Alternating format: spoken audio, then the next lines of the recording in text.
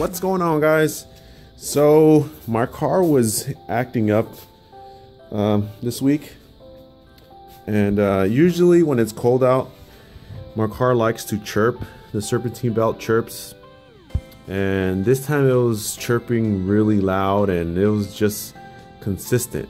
Before usually it chips it chirps when it's cold for about five minutes and then it stops.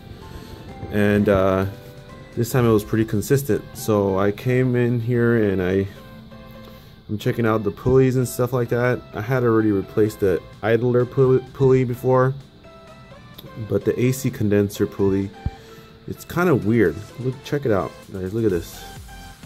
It spins, but then it stops. And I know for a fact it's not supposed to do that. It's supposed to spin freely. And I have a feeling I have to replace the clutch bearing. And um, yeah, I don't think it's.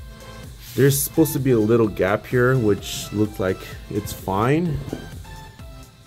The clutch between the clutch and. Uh, the actual pulley, there's a little gap there. And there's enough gap and I don't think the clutch is, is riding on this at all. And I have a feeling it must be the bearings. So I'm gonna go out and buy the bearing bearing for it and replace it and I'm gonna bring you guys along for the ride. All right, see you. All right, so I'm having trouble. So in order for you to take out the bearing, there's a there's a nut in there. And when you turn the nut, this turns as well. So I found this tool right here. So this tool is from Milwaukee and it's for my angle grinder. And you use this to to uh, to um, replace the, the the disc on the angle grinder, and it fits perfectly on here. Check it out, guys. So if you guys ever look at this, so if you ever guys, if you guys ever need to take this nut out from, from the AC compressor, this tool is perfect. Look at this, I'm so happy right now. So yeah guys, look at this, Milwaukee angle grinder tool fits perfectly on here. So yeah. Alright guys, so I pulled it out so you guys could see. And uh, there were some spacers. So just keep in mind that this is a clutch, I'm assuming, right here. And inside there, there were two spacers. There's a, it's kind of a thick one and a thinner one. Just make sure you guys don't lose these. And uh, as I mentioned earlier, there's that little space between this and that pulley. And that prevents from this, that prevents this from touching all the time. So that's what these spacers are here for. There's a snap ring that's inside there in order for me to take the pulley off and I don't have any pliers, snap ring pliers. So I'm gonna go and buy those and then I'm gonna go buy the bearing as well. And I hope you guys could see it, but I thought it was the clutch that was bad. That was rubbing against this, but it's not since I took the clutch face off of it and it's still turning really rough. So there it is. All right, guys. So it's the next day, and I finally got my part, and I have everything taken apart.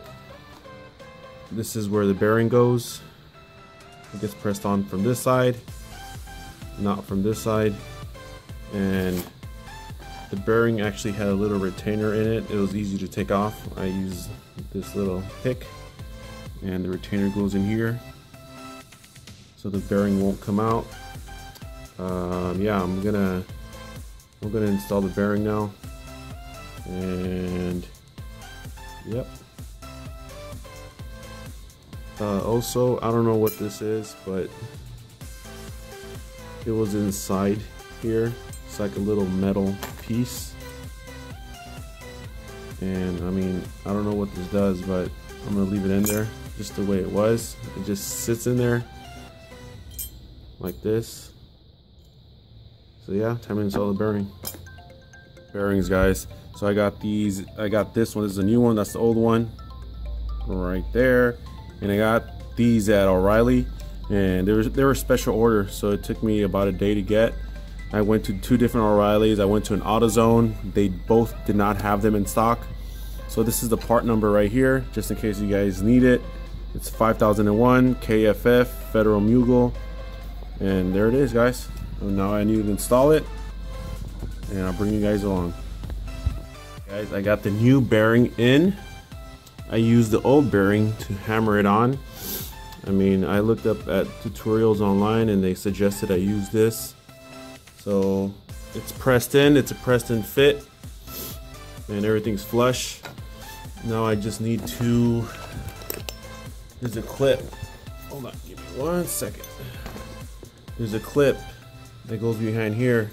I gotta put that on, reassemble everything, and I can't forget the little spacers that go into here. So let me put everything together and I'll show you the finished product. Alright guys, so everything's installed and it took a long time because I didn't have the snap ring pliers so I had to go buy some and the bearings they didn't have in stock. So I had to order them and I got them the next day. But yeah guys look at this. This thing is smooth.